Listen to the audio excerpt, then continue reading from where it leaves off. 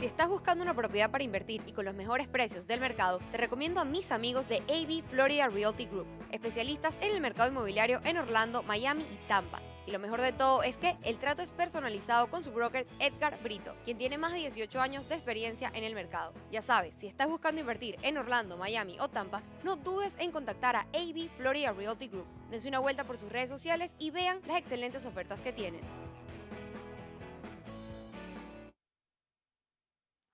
Están entrando al aparato los participantes de la segunda carrera en Goldstream.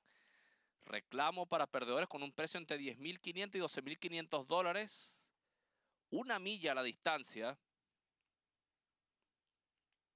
Por entrar el 6 Tuk a Cab, que conduce Michel Jaramillo. De ganar este caballo, Michel Jaramillo haría un back-to-back.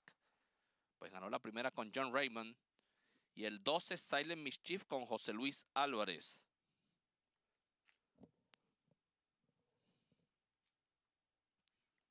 Entró Tuk Akab. Cuando entra este caballo Silent Mischief al puesto 12, vamos a tener la partida de la segunda. Entró Silent Mischief. Partida. La pareja es eh, la partida es pareja, aunque el uno se cargó hacia adentro, Atacán, hacia la baranda interna. Viene por el centro Tuk Akab, precisamente a buscar el primer lugar.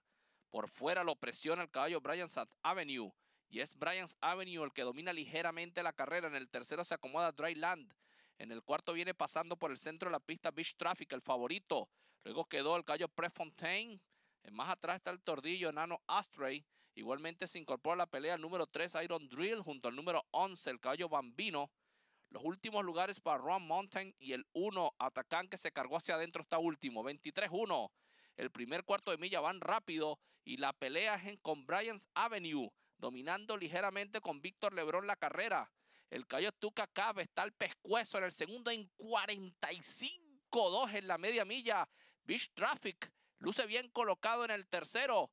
Retrograda el Cayo Land en el cuarto. Luego está Enano Astre junto a Iron Drill.